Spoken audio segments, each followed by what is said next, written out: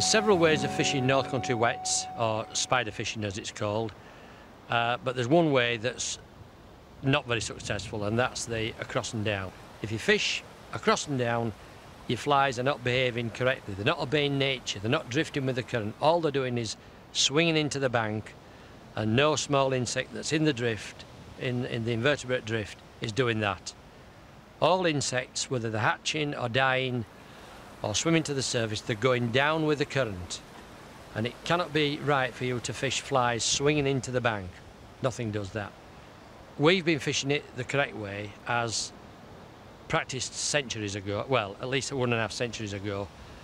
Um, the short line upstream, the pocket picking, the close control, and it's skillful and it works, but it's a lot of hard work. You're working all the time. And then there's the square across method that you saw me demonstrate. That works perfectly. And then there's the escalator method, which is something I've sort of developed over the years. That's also good. All those methods obey nature. They let the flies drift downstream with the current, but across and down doesn't, the swing. You've seen the spiders we've done on the programme. Tie yourself some spiders in the 14 to 18 range, well 12 to 18. If you're talking about March Brown you might be on 12s, but basically we're using 14s and 16s mostly. Uh, the selection you saw me tie will put you in good stead.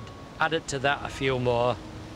Um, standard leader shortened to about five foot and then your various dropper links tied on.